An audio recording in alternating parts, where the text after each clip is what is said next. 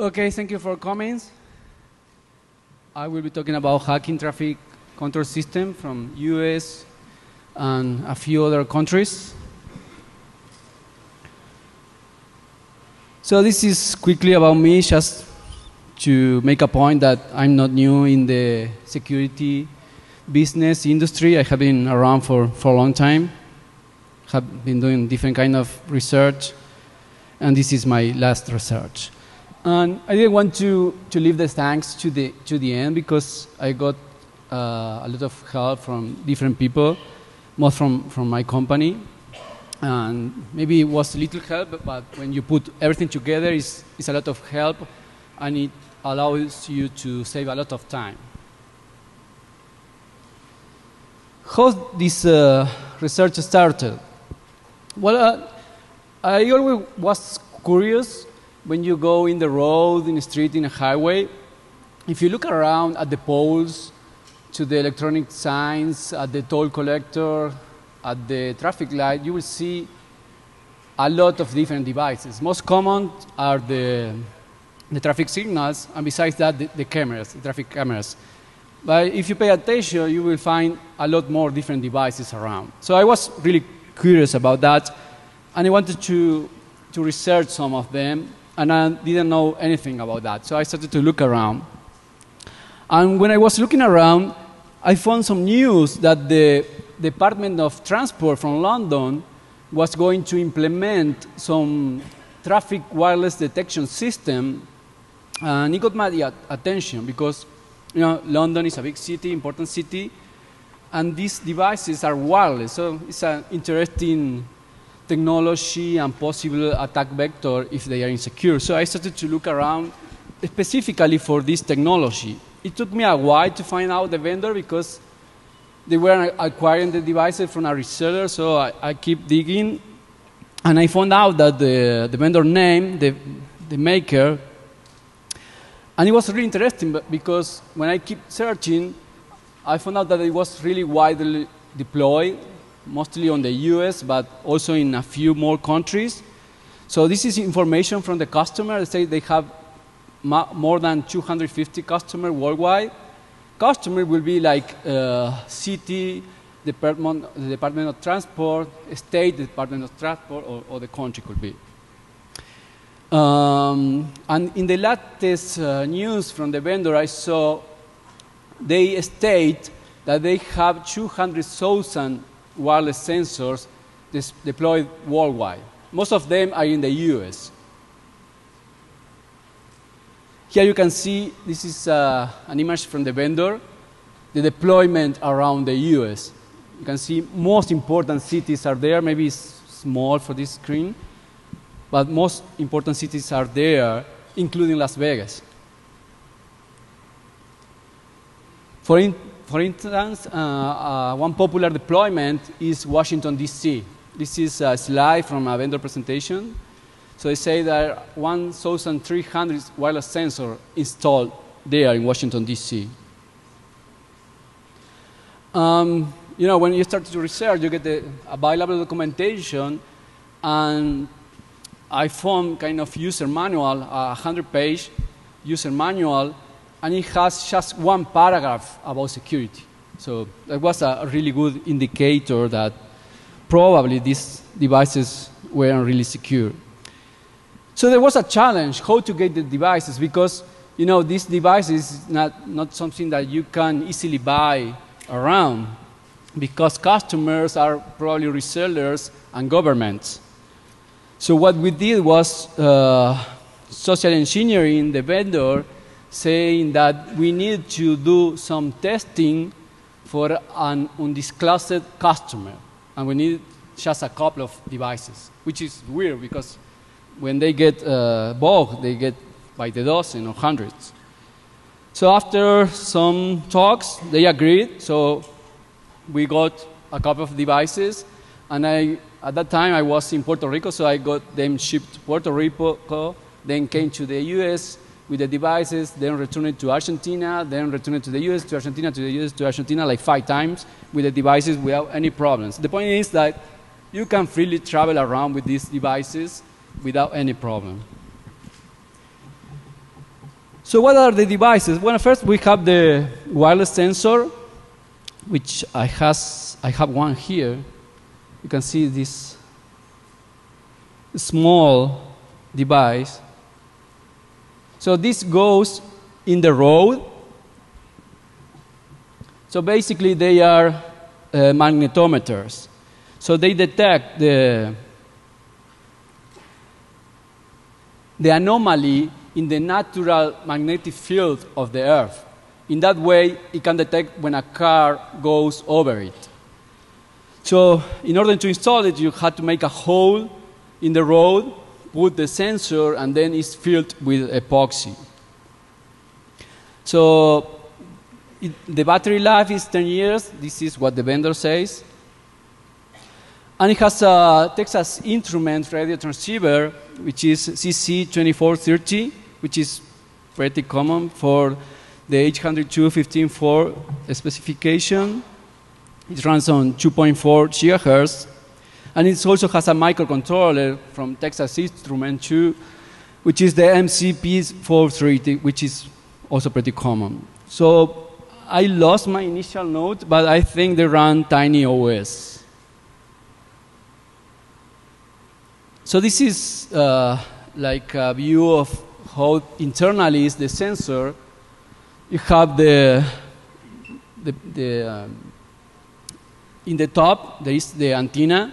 So below is the electronic board, then the batteries, and then the plastic that is around protecting it. So we open it, and there you can see the antenna at the top here we push out the electronic board, and there are the batteries. This is the, the board, and here you have the transceiver, the microcontroller, and then the devices, uh, electronic devices used for, for detecting the magneto interference.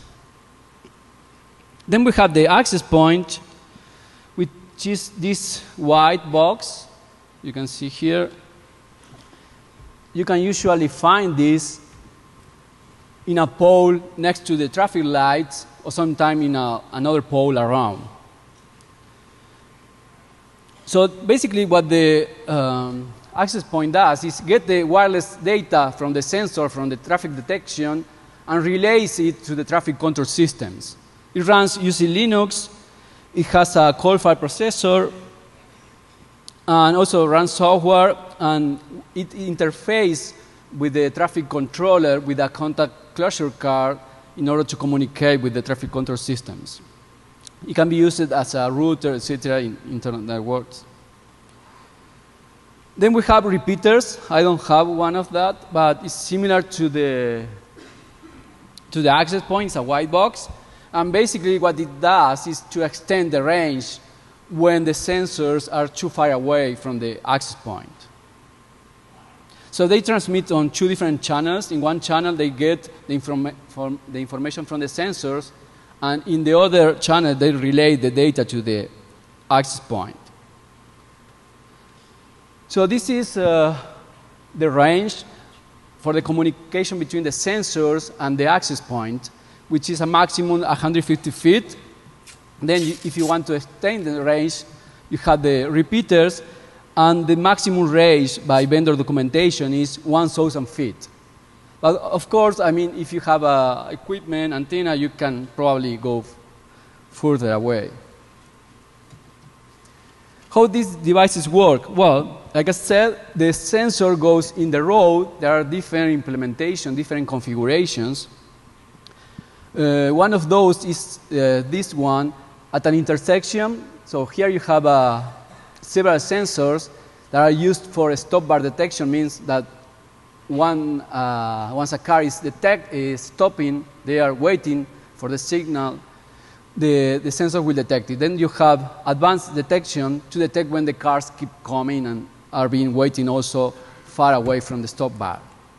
So the, the sensor get the, uh, the, detection data and send it to the access point, and the access point relays it to the traffic control systems. So basically, the traffic control system uses this information to know how to best set the timing, for instance, for the green light. If they see in this direction there is a lot of traffic, they will set the timing longer. If it was 10 seconds, it will make it maybe 20 or 30 seconds. Depends on, on the configuration. Also, at some intersections, probably mo most of you or some of you have uh, seen this at late night. Sometimes you are waiting at an intersection and the traffic light won't change or will take a lot to change. That's sometimes because the detection mechanism is not working very well.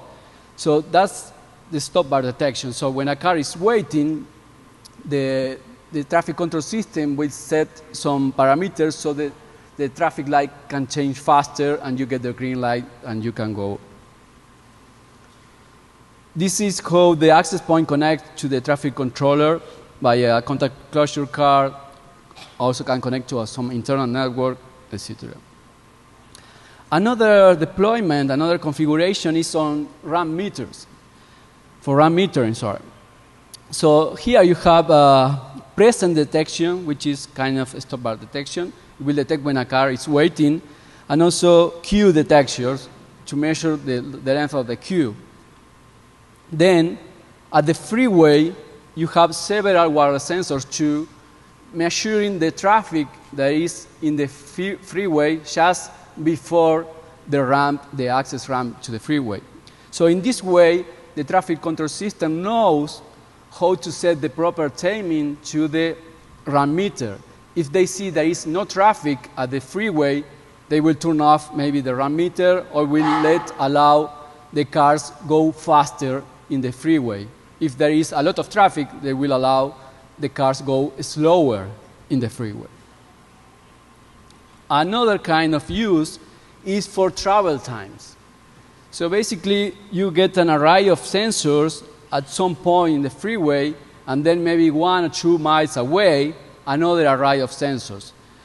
What they can do with this technology is to uniquely identify a car. So basically, they detect the car, they do some post processing, and they will create a fingerprint of the car. So after a mile or two, they will re-identify the car so they can know what's the travel time for that lane. So that information is the information that you later see on the electronic signals on the freeway. And also it can adjust the, the speed limits. If they, say, if they see there is a very low uh, so very low speed at some lane, they could low down the, the speed limit. So in order to, to configure the devices, to access them, there is a Windows software that basically is uh, with, uh, sorry, built with Adobe Air. So it's actually script, Flash, it's very easy to decompile. Um, you get the source code, you get there the hard-coded root credential for the access point, but that, that's a local attack vector for the internal network, so I, I didn't go that way. And so you connect to the access point with this uh, software, and then you can access the, the sensors too. And you can configure them, install, update firmware, etc. Then you have uh, some server software that you can use to concentrate to collect all the inform information from different access points, different intersections, etc. And also the vendor provides a software as a service solution that allows you to connect to any access point worldwide and, and look at some information and set, set some specific configuration options. But I didn't test this because this is uh, software side, uh, sorry, server side and will be, of course, illegal. So this is a diagram how the information from the access point goes to a central location sometimes, and then it's distributed with the different traffic control system of a city or some place. So what are the vulnerabilities I found? So basically, they don't have any encryption. So all the wireless communication is clear text. Um, this was interesting because it took me a, a, while to make this thing work because uh, I don't know if it didn't wasn't uh, built correctly, but well, it took me a while. But when I make it work, I saw that there was no encryption. And when I reported these vulnerabilities through ICS CERT, I got information back from the vendor saying that they, that they do use encryption, but I, I didn't saw it. So they were claiming that, yes, they were doing encryption. And the, the only paragraph I mentioned earlier that I found in the user documentation was the next one. So you can read it there. So basically they say because the radio transmission don't carry any commands, it's only data. There is like, it doesn't care because there is an opportunity to, to attack. That was I, what uh, I understand because it's really difficult to understand what they try to, to say there. But that's the only paragraph about security in the whole user manual. Um, so when I, when I continue insisting that I wasn't seeing any encryption option in any place, that I wasn't uh, looking at the communication, there was no encryption, they get back after many emails with this answer. You can read it.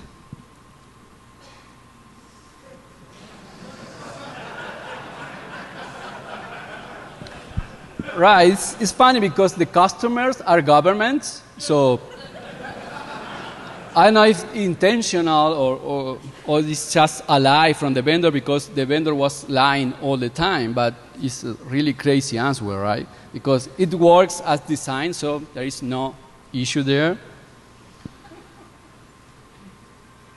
So other issue is that there is no authentication. So nothing, nothing prevents an attacker to access a sensor or to access a repeater.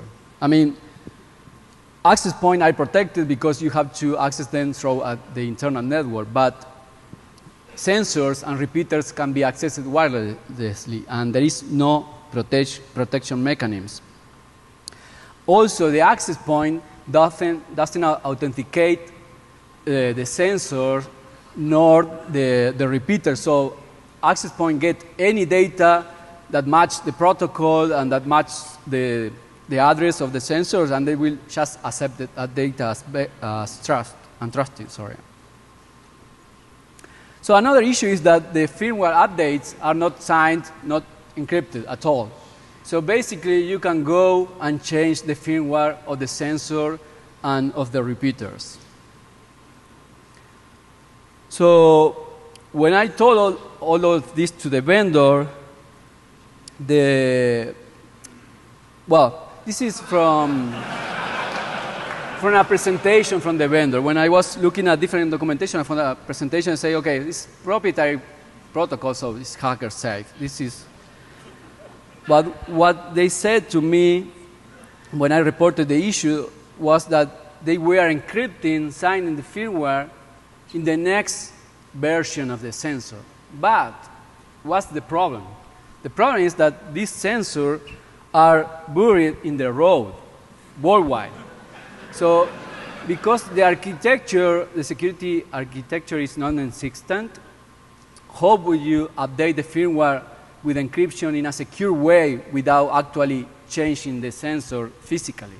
I mean, you are open to attack because you have to share the key in some way. So basically, they will have to do a physical replacement to have a, a secure update of this. But well, so let's see uh, about the, the protocol they use. So basically, the standard 802.15.4 uh, physical level is the same that ZigBee and other wireless protocol you use. Um, it's very uh, low data rate, data rate uh, so because they choose this because it's very low power consumption. It has 16 channels on 2.4 gigahertz. And they have their own protocol, which is the Sensis Nano Power Protocol, which is kind of a media access protocol. Basically, it's a customization of the MAC standard. It's very similar and it's used uh, TDMA. So they divide the time frame in 64 slow, slot. So the access point will tell to one sensor, okay, you have to transmit and listen at this time, and so on with every sensor. They do that to avoid collisions and also to optimize the power consumption so the sensor doesn't need to be awake all the time. Um, so sensors will only listen and transmit at some specific time slot, but the access point will get data at any time. I mean, you can just send data to the access point and it will get it and process it. So if there is no detection, so there is uh, any car around, then the sensor will just send status information every 30 seconds. Um, the access point just acknowledge when they get detection data from the sensor. If there is no acknowledged, then the sensor will retransmit a few times and then will get to sleep. So a basic uh, packet structure is the following. So the first two bytes are for the kind of packet. Then the, the other byte, the third byte, is for the sequence number for the sequence of packets in this transmission. And the following two bytes are for the address of the sensor, because the sensors are identified by these two bytes. So the access point knows from where the data is coming. And then it's the data part. So the, the frame header is for the type of packet, as we can see. And then there is a special in the address part uh, from the access point side, they use a special byte which they call color code, which is used so the sensors can know if they are getting inf information from the right access point. Because the access point doesn't have uh, a specific address, the sensors will know that they are getting the right information by this byte, the color code, by the radio channel and the color code. So the data part is 4 to 50 bytes. So the data that the sensor sends is sometimes the battery level, the firmware version, the detection of the car, um, if there is traffic or not, and then from the access point to the sensors or repeater, you get synchronization data and also configuration information and also firmware updates. So this is a sample packet from the sensor to the access point. That means there is no detection on any event. So basically, it's what they transmit every 30 seconds. And this is a slightly different packet, which means there is a detection of a car. This is also from the sensor to the access point when they send uh, status information and configuration information. Sometimes you can query the sensors with the access point to know how they are configured. So here they send the firmware version, the channel, the, the physical address that they get from factory that you can change. So they will send all this information. And finally, this is a, a sample packet from the access point to the sensor that is used to synchronize the sensor when they say, okay, you transmit in this timing and you on this other timing, etc. So for the firmware, they provide the firmware in a file which has a proprietary format that looks this way. So the first two bytes are the address at the, for the flash memory, I think. Um, they have the, the firmware twice. I think they do it because when the, the firmware is actually running in the device, it's running at some specific address. So when it gets the update, it will copy it to the alternate address, which is uh, specified here. If it's running at the first address, it will copy the firmware update to the other address, and then we reboot and change. So basically, the security mechanisms, or I don't know, it's, it's just one checksum at the end of each line, which is a XOR, very simple checksum. And then you have a general checksum for all the firmware, which is 8 byte, which is also kind of XOR. So basically, you change the firmware, you modify it, and then generate the checksum, and that's it. Then you can update it. Um, the packet for the firmware update is very simple. You just upload the firmware to the access point, set the sensors in firmware update mode, and then the, the firmware is start to be uh, broadcasted by the access point. So basically, they broadcast every line of the file. You can see here the file.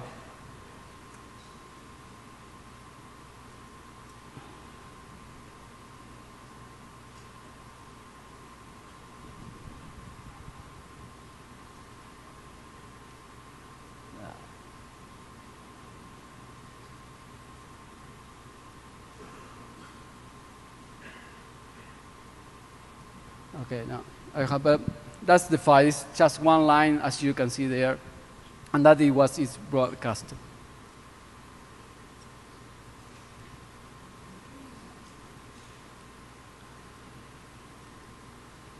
So in order to do this research, I needed some hardware because you know you have to sniff the wireless communication, then you have to be able to modify packets and uh, modify packets, etc. So basically, I got a USB dongle for sniffing the 802.15.4 protocol, which is uh, this device, very small.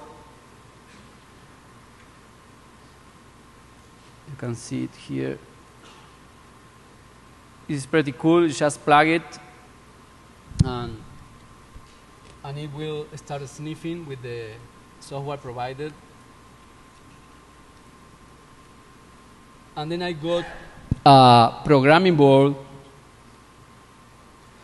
all from Texas Instruments. So you get the programming board, you get the radio transceiver, the antenna, and also a sniffer. Just plug the programming board by USB to the computer, and then you have the, the framework to program it, which is the E, uh, IAR, Embedded Workbench, IDE, IDE. And then the smart RF Studio and the packet sniffer software. We can see the software. This is for sniffing. So you can see, just run the program, and it will start getting the packets. These are the packets from the access point to the to the sensor. And here you can see the, the data. And if you know the protocol, you know it's clear text because all the information is just there, the address and the options. So it's pretty simple. Just look at the setup, uh, the type of protocol you want to capture, and then set up the radio channel here and start sniffing. And then with the testing board, you have the RF Studio, which is pretty cool. You just choo choose the, uh,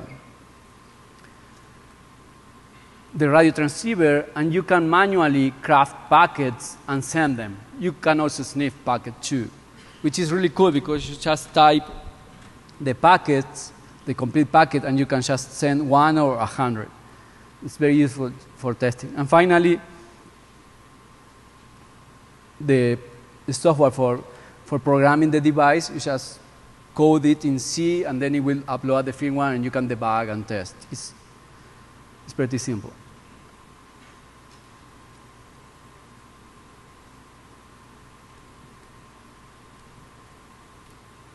So what's the impact? So the vendor says there are 200,000 sensors uh, worldwide. Most of them are in the US. I would say, based on my research, maybe 80% or 70% are in the US. And then you have repeaters also.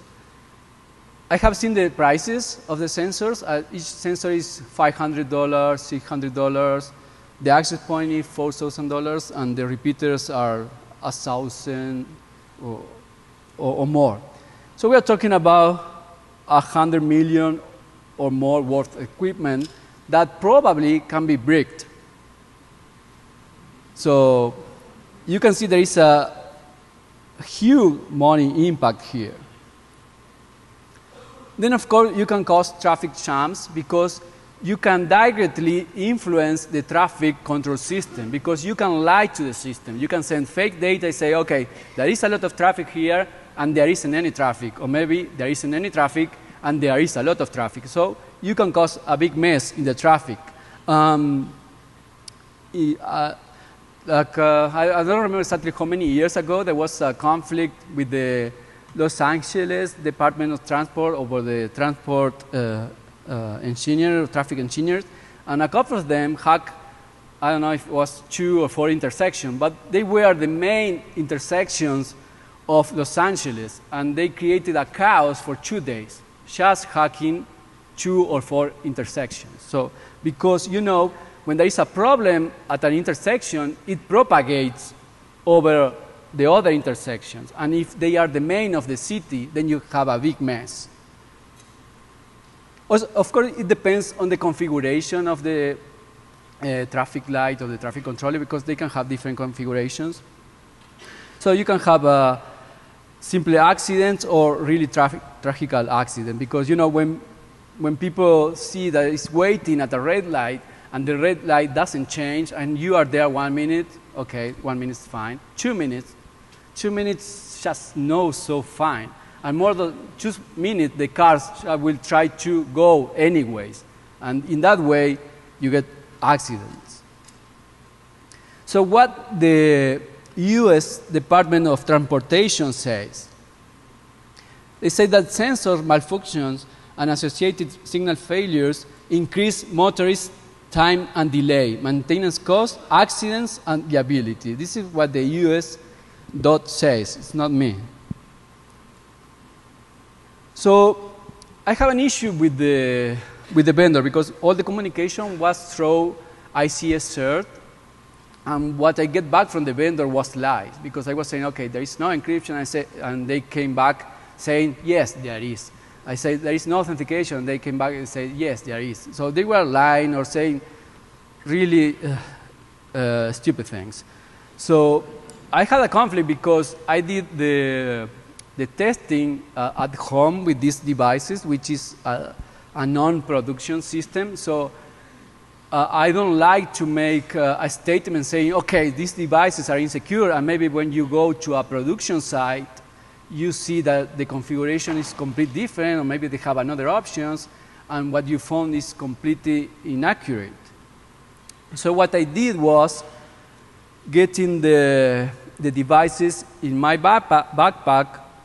I make them portable because the access point is by default is powered over Ethernet. So I got help and, I make it powered over USB so I can connect it to a portable battery supply. And then I connected it to the a portable Wi-Fi router. So I put the access point in my backpack, and then I could access wirelessly the access point from my notebook. So I went to to Seattle, New York. But the problem that in Seattle, when I tested, was a testing site. It wasn't a production site, so I wasn't very sure. The same on New York, but when I went to DC, which is a big deployment there, uh, it was a production site. So I did some testing there that I will show you now. So this is uh, New York. It was cool because I was just next to the New York police traffic. So here you can see the marks from the sensors in the street. Those black round circles are the marks. And then in the pole, here is the access point. And this is just like uh, three blocks away from the, from the Empire State. So there I basically was pointing with my backpack to the sensors because it's a directional antenna. So I was pointing with my backpack to the sensor, and I was uh, able to access the sensor. I was able to, to see the configuration of them. And if I wanted, I could have compromised them, changed the firmware, which I, I didn't do it, just in case. So there is, a, we see this later, is the software from the from the vendor. So I put the, the access point in discovery mode, which they query for sensors some specific channel. So the, the sensor started to, to appear in the graphical interface. There is a line, you can see green. That's my sensor, which I had also in my backpack. But then it started to appear uh, a couple more. There you can see three more sensors that were there in the road. And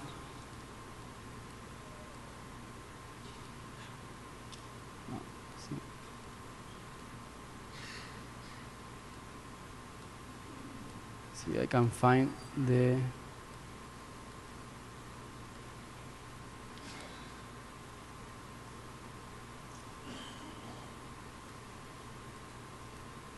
Okay, doesn't matter. I just wanted to show that it was like five blocks from the, the from the Empire State. So I went to DC, and DC just uh, when we get out the the Union Station, we found a nice surprise because I didn't know there was something there.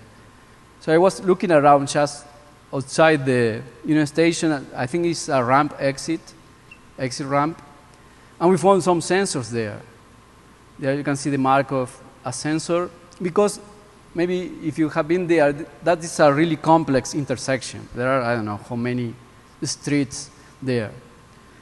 And there you can see the access point. So that configuration is for detecting that a car is waiting there at the ramp trying to exit, so it will put faster the green light, or if they don't detect any car, they won't get any green light. So I was, you can see, pointing my back back to the sensors. and there, I was able to, to access them, just to look at the configuration. Basically, it's capturing the wireless data and displaying it in a gra graphical interface. But because the software knows how to process the data and give it meaning, I can see all the options the configuration options, etc. So that is the, the traffic I was seeing from the access point to the sensor and to the sensor, from the sensor to the access point. But there is uh, another part we go, we went to do some testing.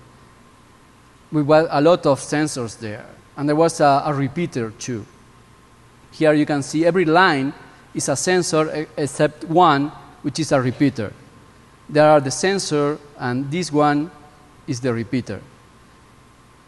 So just clicking in one, I can access then, change the configuration if I want, change the firmware, do anything, change the channel, the, the radio channel. And this was, as you can see, two blocks from the capital. I mean, there was some weird people, some spooks, but we didn't get any problems. It was weird. We weren't paranoid because we weren't doing anything illegal, but it was weird. There was the access point, and here in the street are the marks from the sensors, and there was a repeater here. So in this way, I could prove that I was right when, with what I was uh, saying, uh, what, what I found. So what are the possible attacks? So basically you can do denial of service, which is uh, not cool. So you can disable the, the sensors, change the frequency channel, change the firmware, probably break them, send fake packets. But the cool attack will be send fake traffic detection data because if you know how the protocol works, how the device communicate, you can just send fake data. And in order to do that, I, I built a, a, special device I will show you later. So basically, you just send fake data saying, okay, there is a lot of traffic here, but there isn't, etc. What I already said. So in order to launch an attack in, in, a real world, it's kind of easy because there is a lot of vendor presentation, documentation, press releases where they say, okay, we are implementing this in New York, in DC. Uh, there is a lot of public documents also from the government. And the cool part is you can specifically know the coordinates of the devices using Google Street View. Here are a couple of repeaters.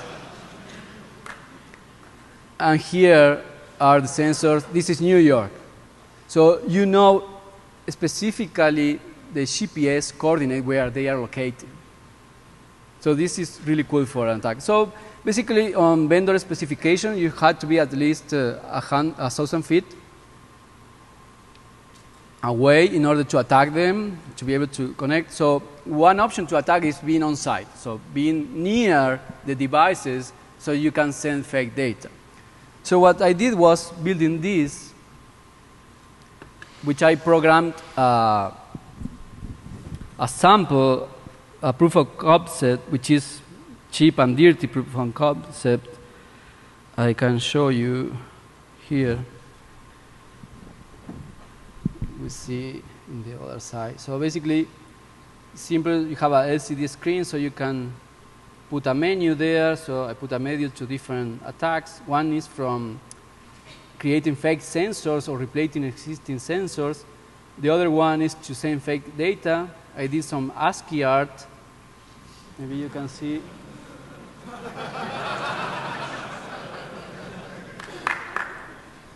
and then I also can send fake data about configuration.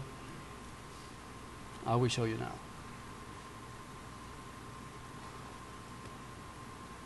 So I have here the the vendor software. So I will, I will connect to the. I'm connected to the access point now. So basically, here in every line, you get the the devices, which are the sensors and repeater listed there. So you can see there isn't any, any device there. So what, uh, there is just one, which is my sensor I have. So now I will create fake sensor. In a real attack, it will be replacing existing one, maybe disabling them or just sending fake data. So I will push, push this button here, and you will see the sensors being created. So you can see I'm sending fake data to the access point, and the access point is parsing the data and accepting it as a valid data. And there is a couple of interesting columns here. One is the present, which means that a car is present at the sensor, and the other is the number of detections, which is number of cars being detected. So now what I will do is send fake data about car detection, about traffic. So I push now, and you will see here the detection number to be increased a lot. So basically, the access point is taking this data, which is fake, is made up, as valid and processing it. So this is the data that will get the traffic control system to take decisions.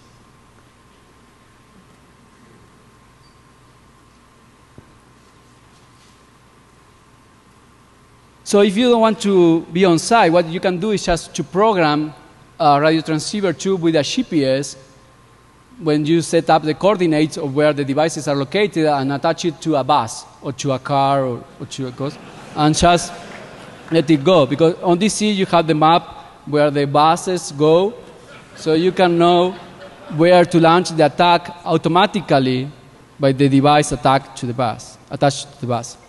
Another option which I tested and works is from the sky by using a drone. This is a, a new service where you can rent drones if you don't have.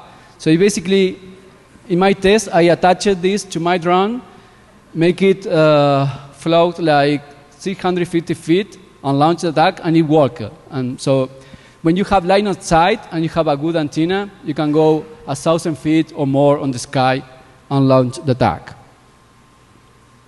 Another attack could be uh, to do a firmware uh, day worm.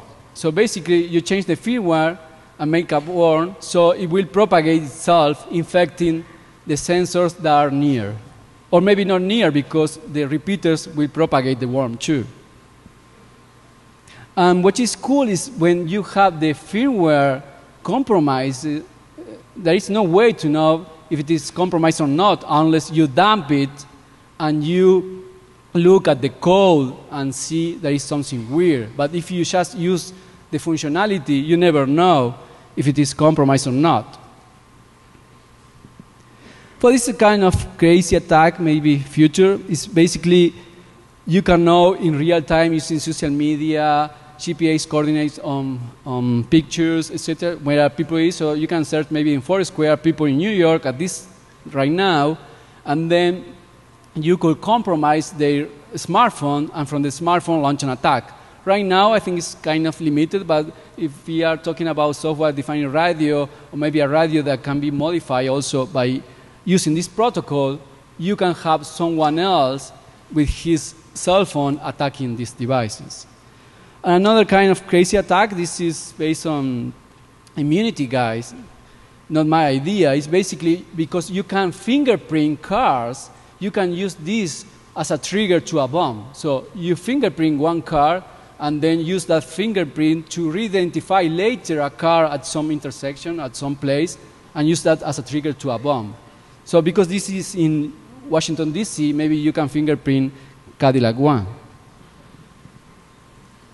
So the final conclusion is like any work guy like me, you know, I live in a small town like many miles away from here, can get these devices that are used on critical infrastructure in the US and other countries and hack them, and then if you want, hack the US or other countries. The attack tool, it will cost you $100 or less to, to build it if you buy the part and program it. It's cheap.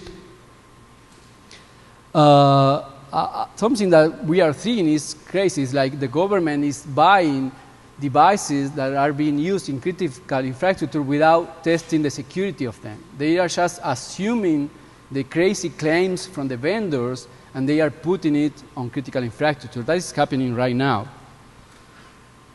And finally, when we talk about the smart city concept, where the city gets smarter to take decisions, if you get devices like these that blindly trust the data, then the city doesn't, is not very smart. It's kind of stupid. And finally, cyber was cheap. So I'm part of Build It Securely. We are trying to, to help small vendors to improve the security of Internet of Things devices. So if you don't know about this, you can check the site, and there is nice uh, step-by-step -step instruction on how to build secure products, etc. And that's it. I hope you like it.